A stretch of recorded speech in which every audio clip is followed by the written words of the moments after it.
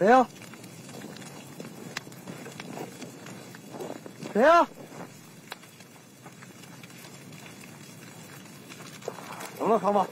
张掌柜了。我看着有俩人影。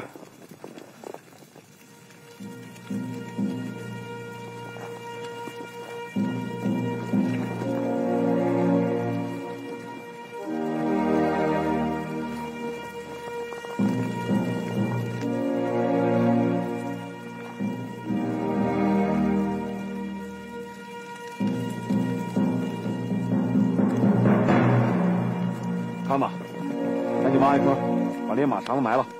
咋了？咋了？干爹曾经说过，这熊瞎子一闻到血腥味儿就会吃人吃马的。啊，这黑瞎子多黑瞎子特别多。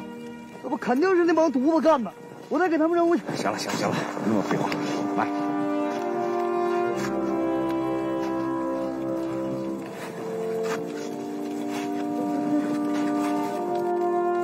你带几个弟兄去打探一下老朱家马帮的行踪。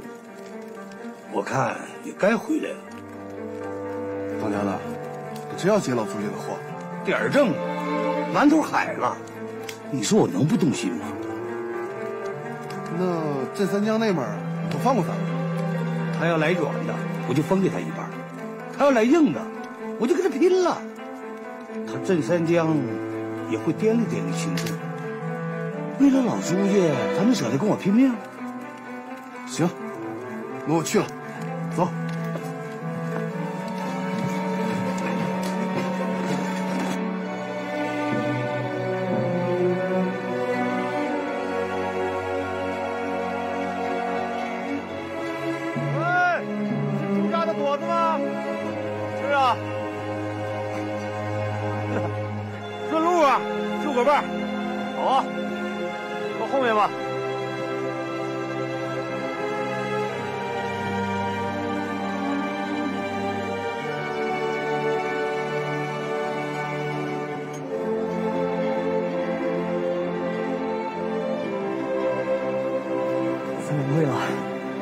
几个人鬼鬼祟祟的，能不能是潘老大派人捣乱来了？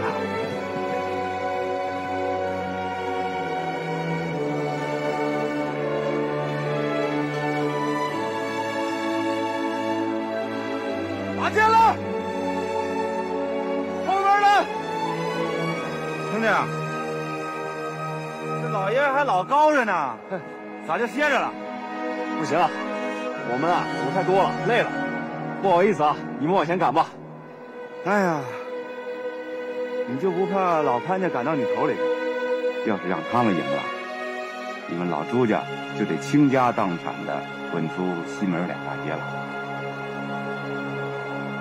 你是谁呀、不认识俺了？你是不认识俺？俺那次上你家的时候，你被天外天打伤，正躺在炕上呢。你这手里的马鞭子就是俺送给你爹的。镇三江大哥，还有大掌柜的，怎么是你啊？俺担心天外天反幌子，给你保驾来了。哎呀，这太好了，走吧。别歇着了啊！好，走了，走了。走了，走了。走走走。兄弟，出了这片黑松林，就是天外天的地界啊，小心点啊！站住！把货给我留下！这位兄弟，胆儿不小啊，连我们大当家的货都敢劫。是镇三江吗？没错，是啊。是天外天的弟兄们吧？对，弟兄们辛苦了啊！回去跟你们大当家的说，哪天俺镇三江带两坛子好酒登门答谢他啊！不知道大当家的也在这儿，得罪了弟兄们，走。唐文江子，嗯，没事吧？没事，赶路吧。好，走吧。走了，走。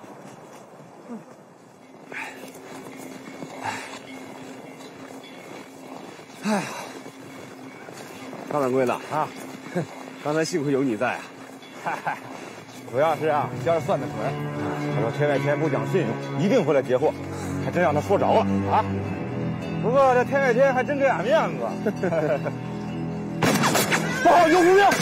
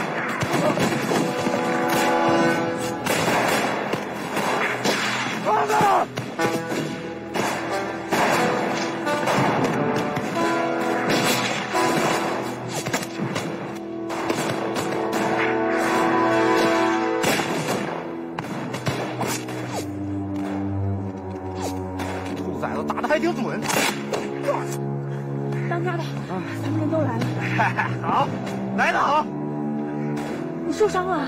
没事，老子死不了。仙儿，去把朱家马帮送回山口。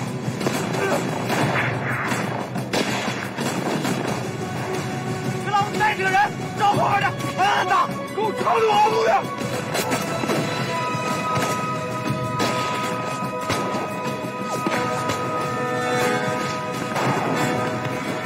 带着马帮一直往前走，听见了吗？你们快，一直不走到山口，快！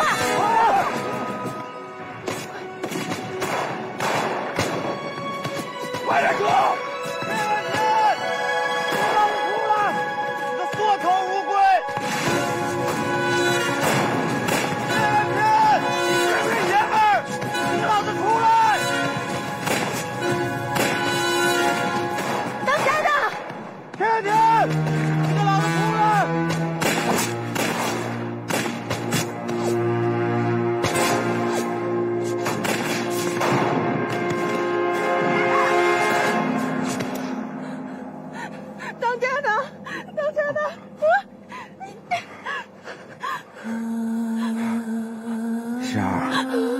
你告诉三武，俺报答他老朱家一回了，还差一回，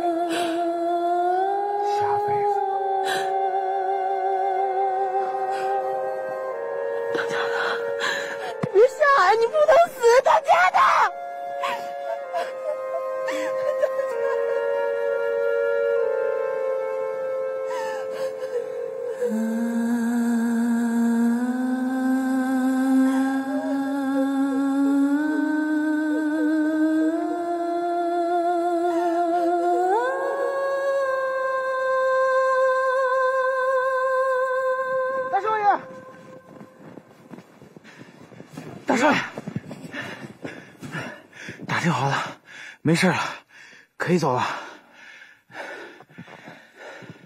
走！来，干什么？大少爷，我听老乡说，昨个有个马帮被劫了，就在前面那个林子里，枪打的跟爆豆似的，肯定是天外天把他们老朱家的货给抢了。好，太好了！站住！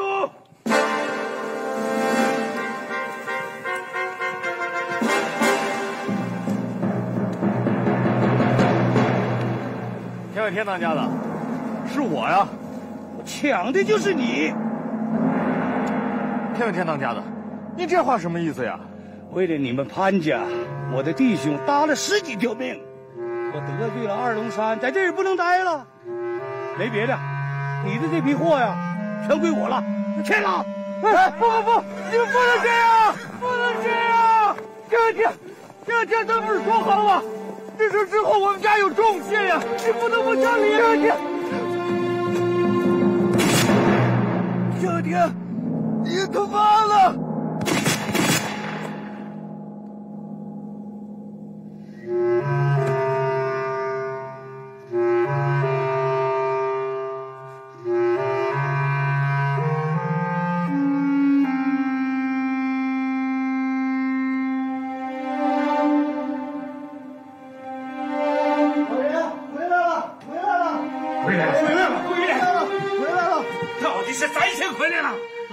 是朱家老三回来了。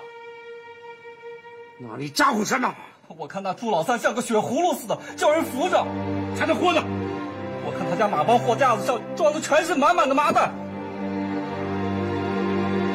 到底是他家先回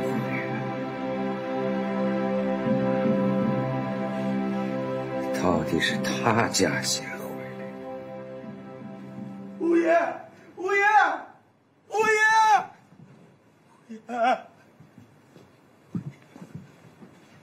咱家的货呢？咱家的货让天外天给抢了。废物！爷，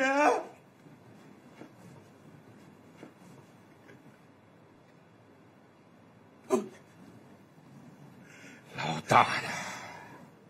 大少爷呢？也让天外天给打死了。五爷，五爷，五爷，五爷，三儿，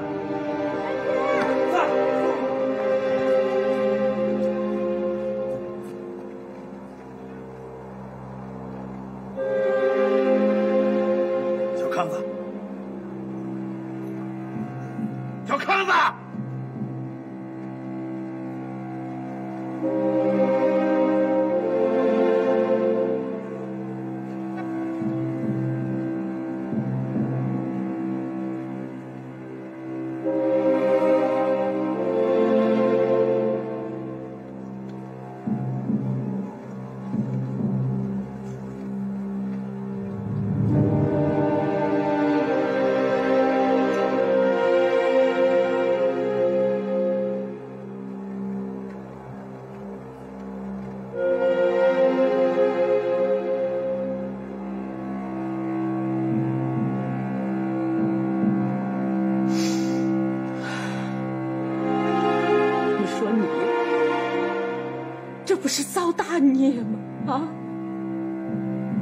儿子，活拉就没了，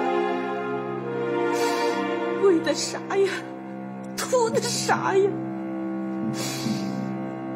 你这又躺下了，这个家不就毁了吗？菩萨呀！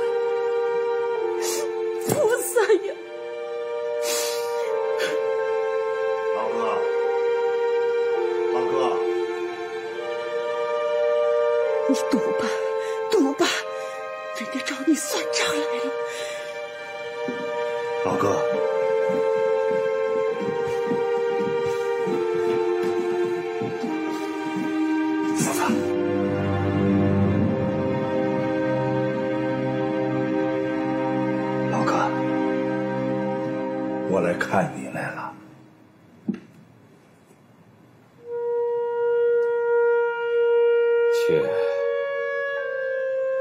把房契和钱庄里的银票都拿来，交给他。老哥，你放心，姓朱的，我说话算数。明天我就滚出这条大街。老哥，我今天来不是这个意思，我是想跟你说点别的事儿。你睁开眼睛吧。老哥，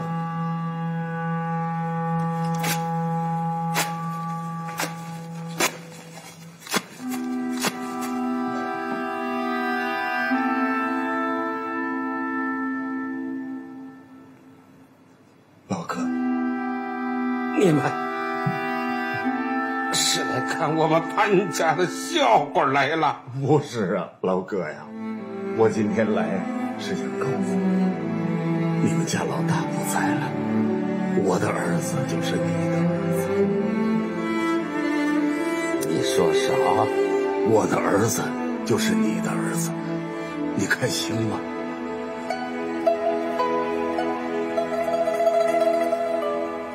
老大，老三，跪下！老人家，儿子给您磕头了。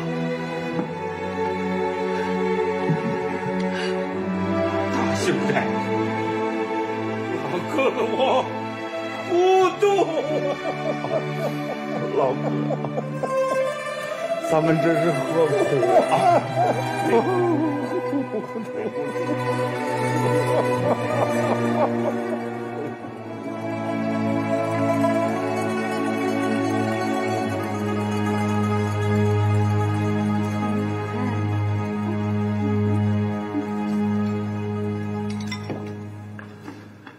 大掌柜的是咱们家的恩人呐、老大，哎，三儿，明天跟我去二龙山，给大掌柜的上个坟。嗯我也去。秀儿，这都是老爷们之间的事儿，你就算了吧。我想去看看仙儿姐。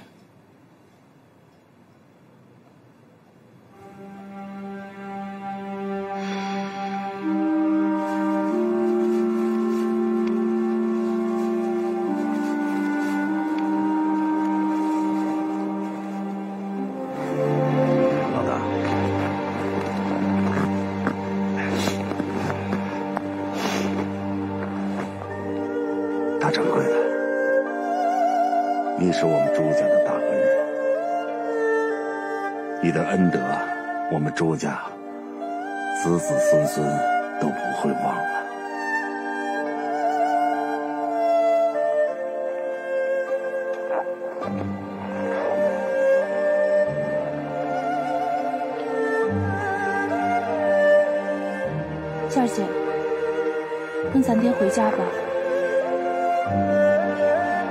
二龙山就是我的家，可是，大当家的不在了，你咋办呢？我以后还当胡子。传武心里一直有你，也只有你。你回去给他当媳妇儿吧，我给咱娘当闺女。秀儿，你别再说这样的话了。我这辈子跟着大当家的，我有生有世都是大当家的人。你回去跟传武好好过日子，听见了吗？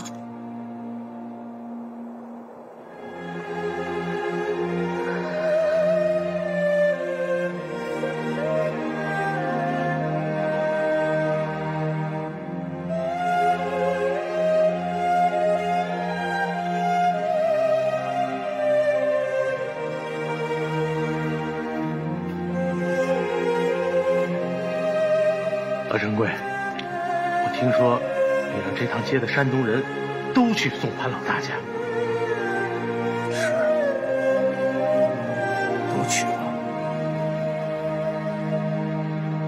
都是赢了嘛，犯不着的跟他低三下气的。我没赢，甄三江死了，小康子也死了，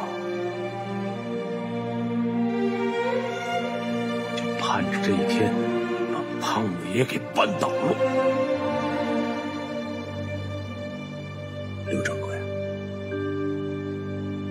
大宝不是也没了吗？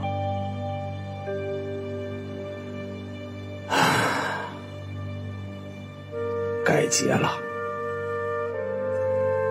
这条街上，山东人和热河人的恩怨该结了。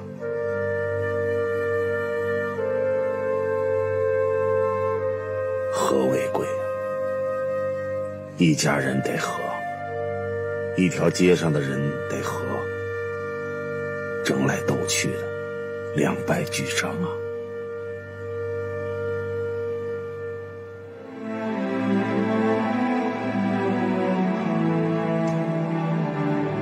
咱偏江过海的闯关东，不就是为了活个命，吃口饭吗？盼着家业兴旺，人丁兴旺。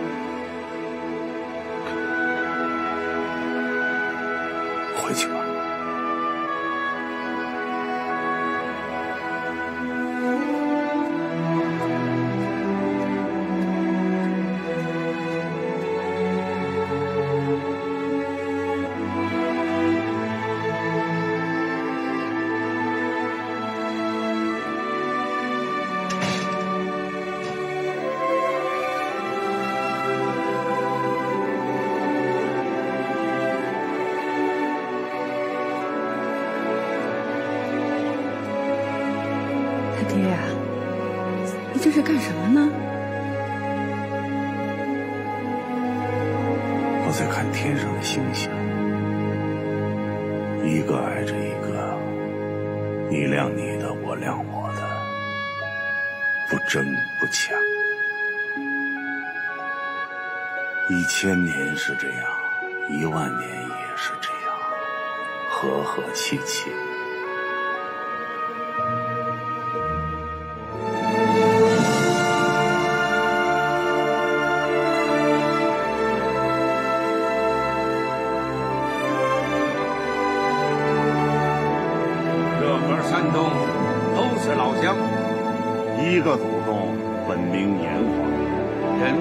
派，店铺结帮，有福同享，有难同当，男女老少共存异享，同心同德，百代兴旺。同心同德，百代兴旺。同心同德，百代兴旺。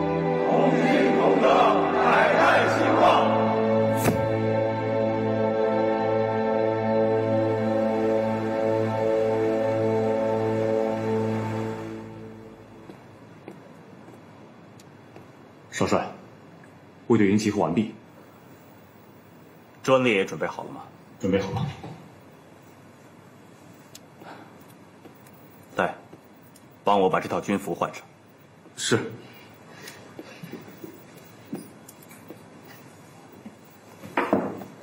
少帅，这是士兵的军服。是啊，今天啊就得装成一个士兵了。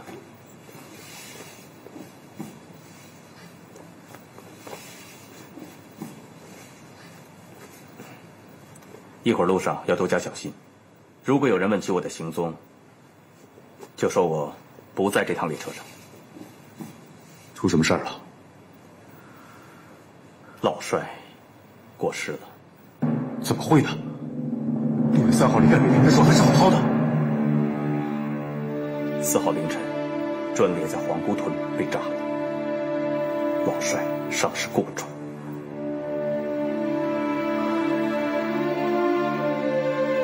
什么人干的？还能有什么人？日本人。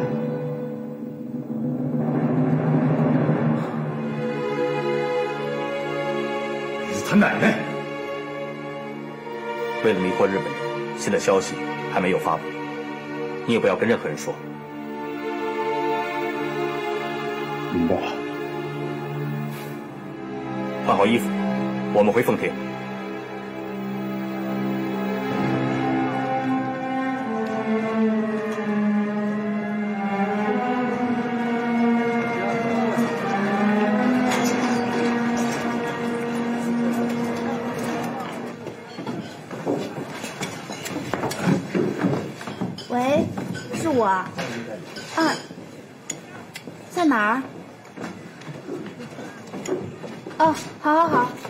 去啊。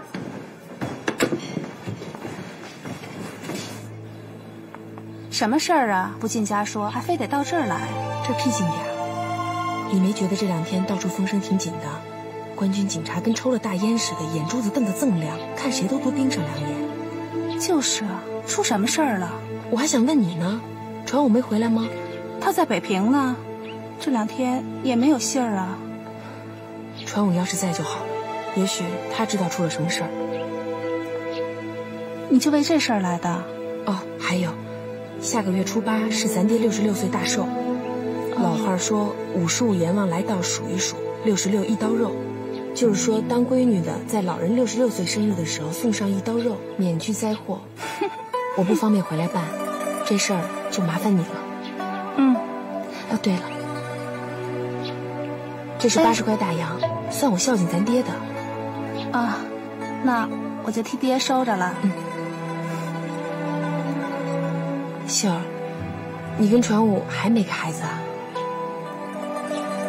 他回来也不在家住，看看爹娘就走。哎呦，他这驴脾气什么时候能收敛收敛？都这么多年了，就这么过吧。秀儿，下回姐见到他，一定好好说说他。他要再不掉头的话，姐这辈子都不见他哎呀不用。秀儿听姐的这事儿姐给你做主。嗯。大大媳妇儿啊这秀儿出去也没给你们打声招呼啊哎呀伙计们说啊她呀接了个电话急着忙活着就走了。这孩子上哪也不放手娘二嫂也该出去走走了。整天在家待着也不是回事儿啊。他三婶儿，他呀和你不一样，你是教书先生，可以抛头露面；他是媳妇儿，应该在家待着。我要是二嫂啊，不但要抛头露面，我还得再找个人家呢。哪那么多废话？吃饭。本来嘛，现在都什么年代？哼，什么年代，我们女人也得讲究本分。行了行了，吃饭吧，管好自个儿的事儿就行了。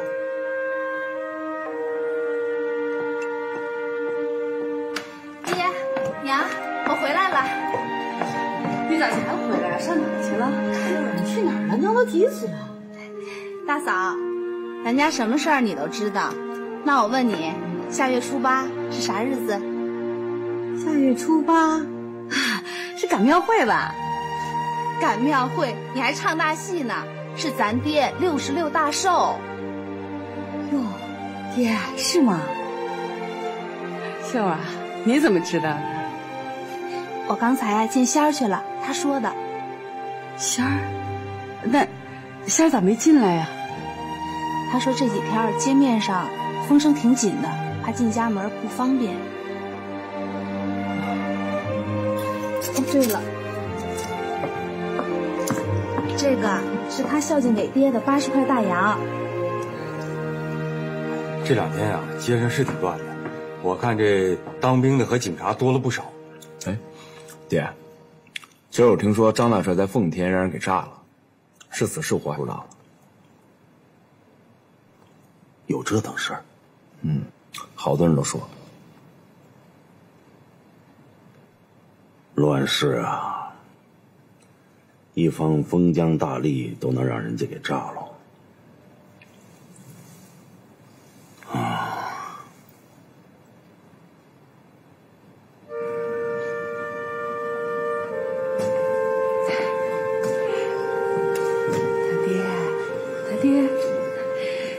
困了，回炕上睡去啊。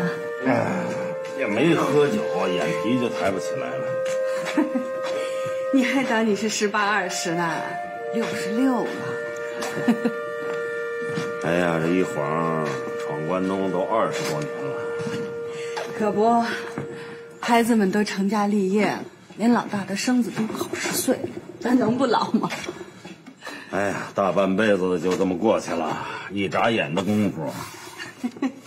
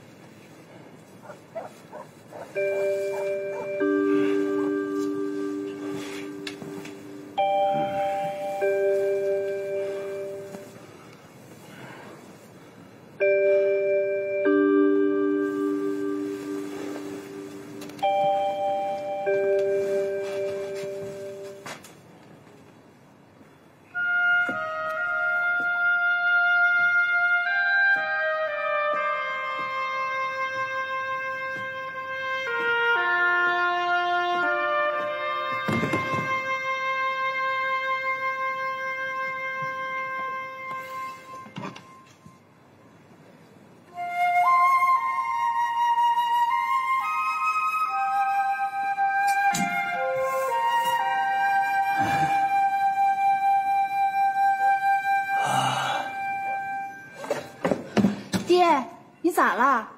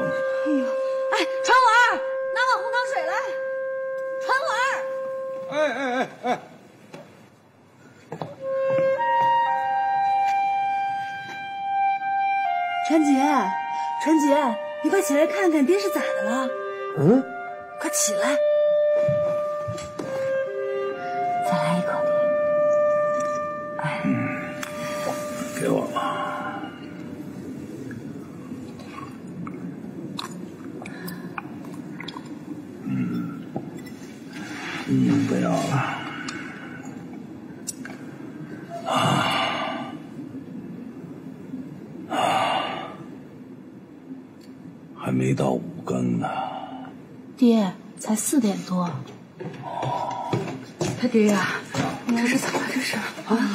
没事。啊？来来来，慢点。嗯，都回去睡吧啊！你们回去吧，嗯，回去吧。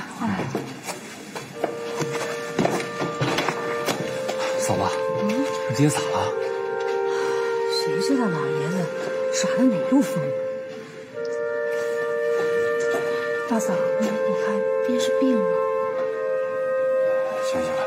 回去休息啊，回歇。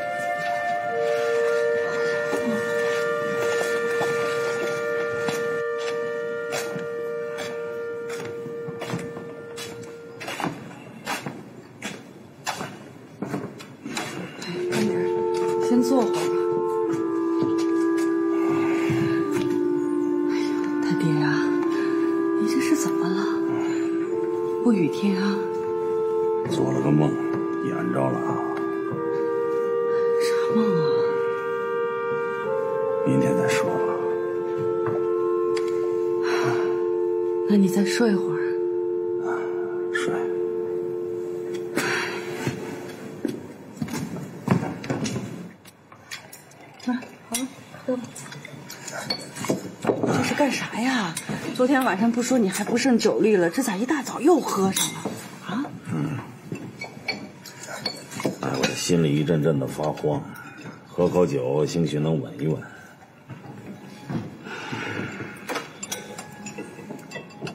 文大娘啊，嗯，我看咱们回老家一趟吧。这好好的，怎么想起回老家了？爹，是不是去年潘五爷回热河老家了？你也想跟他学呀？潘五爷回热河老家，人家就不回来了。爹和他们不一样，爹回去看看老房子，看看你们爷爷奶奶的坟头，完了就回来。哎应该的，爷爷奶奶的坟啊，这么多年，怕是没人培过土、压过纸了。爹，那也用不着你亲自去，我们哥俩谁去一趟不行？啊你们谁也代替不了我。昨天晚上我做了一个梦啊，爷爷，啥梦啊？我梦见在一条河边上遇到我娘了。我娘跟我说：“说孩子，回家看看吧，咱家房顶塌了。”我还正不相信呢，正琢磨着呢，就忽然有人喊我。我这回头一看，这河对岸那不是我爹吗？我爹就向我们娘俩招手啊，我娘拽着我就过了河了。我在河里边走，哎呀，我就睁着眼睛走，什么都能看着。走着走着，我就看着一双大脚，我一抬头，我一看，这不是我爹吗？我爹一下就把我们俩拽上岸了。哎，这岸上这景色好看呐、粉莹莹的梅花开了一片一片的。我就问我爹和我娘，我说咱家房子在哪儿呢？我爹和我娘一指，那几棵梅花树的中间有一片空地。我走到那空地一看，这空地是一个塌了的坟头。哎呀，我这一下就醒了，这心里一阵阵的发慌啊。嗯，爷爷，这梦啥意思啊？就是你太爷爷、太奶奶想爷爷了，啊，爷爷得回去看看。这坟的事儿啊，可是大事儿。历朝历代的皇帝们呐、不光活着的时候要给自己找一个好的灵气，就是死了，他们的子孙啊，也要按时去祭拜，要不然呐，这天下就不消停了。咱家也不是皇家，可是坟的事儿也不能马虎啊。要是爷爷和奶奶的坟塌了，那可就要方活着的人了。大嫂，其实做梦的事儿也没那么玄乎。中国人说昼有所思，夜有所梦。外国人有一个叫弗洛伊德的，他说梦是愿望的达成，也就是心里所想的事情啊，在梦中实现了。咱爹说的对，爹，你就是想自己的父母吧？我说他娘啊，我看咱们还是回去一趟。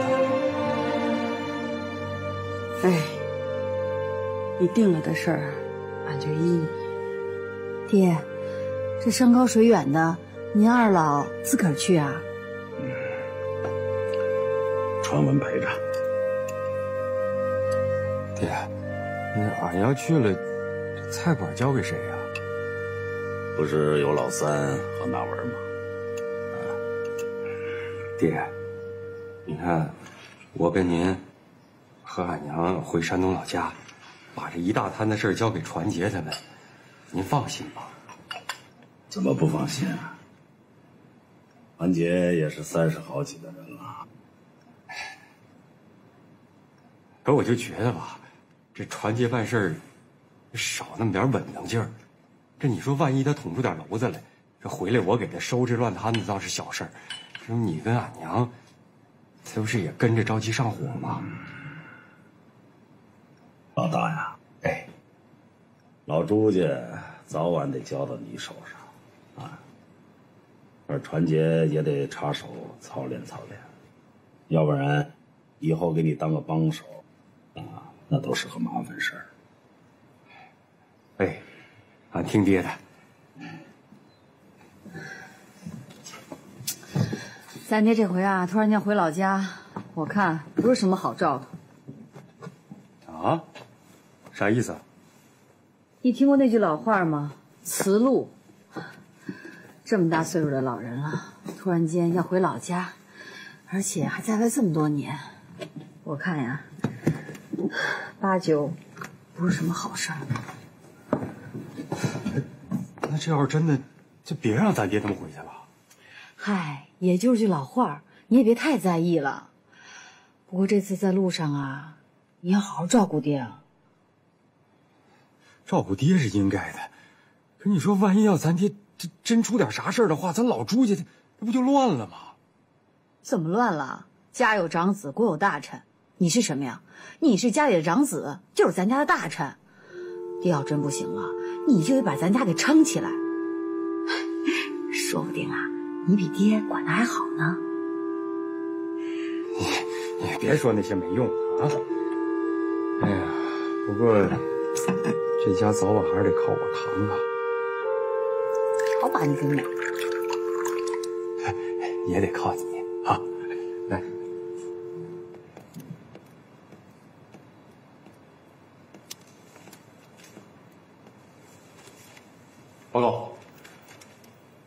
朱副官没有回家去看一看。大帅的事情还没处理完，俺不能走。家里来信了吗？前天接了一封信，也没什么大事儿，说下个月是俺爹六十六岁的生日。哦，老人家六十六了。是。是这样，朱副官，大帅过世的消息，过几天就将公诸于世。那么在消息没有发布之前，为了稳定局势，我想把咱们东北军的内部人士动一动。这事俺听说了。现在，我正式委任你为东北军驻哈尔滨陆军步兵第十八旅七十六团的团长。俺没带过那么多兵。凡事总得有个第一次，过去你是没有带过一个团，从今天起带。有什么困难，直接和我说。毕竟你我朝夕相处了这么多。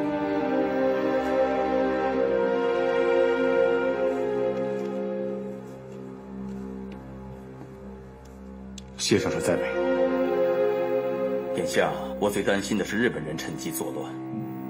你到任之后，一旦和日本人打上交道，务必要小心，不要感情用事，不要轻举妄动。是。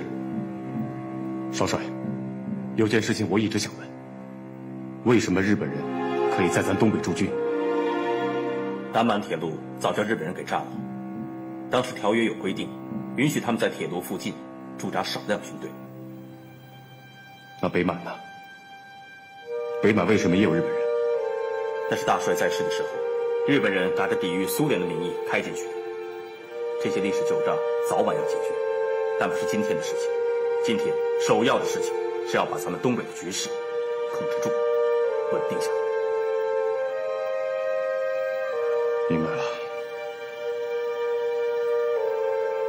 还有什么吩咐吗？回头我叫人准备几样礼物，你捎回去给他老人家，也算是我张学良给他老人家六十六岁生日的一点心意。谢少帅。